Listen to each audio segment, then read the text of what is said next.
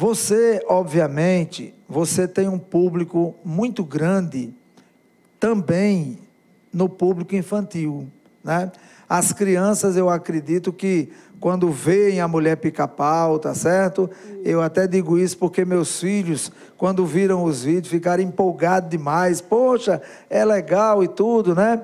E como é para você essa responsabilidade de você levar, né, para dentro de casa, para as famílias, chegando na criança, que é o maior patrimônio que a gente tem, é o futuro desse país, né? você ter que levar isso aí e seguir a tua vida com muita disciplina, né? Porque você inspira pessoas e também motiva os jovens. Como é para você isso? É muito pra, prazeroso assim ter um personagem que o público maior são as crianças. Para mim é muito legal.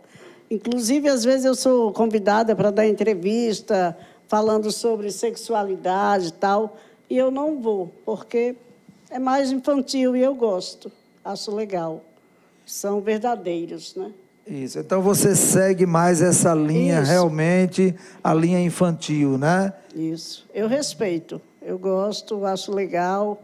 Então é um trabalho bem clássico, bem, bem tranquilo mesmo de fazer.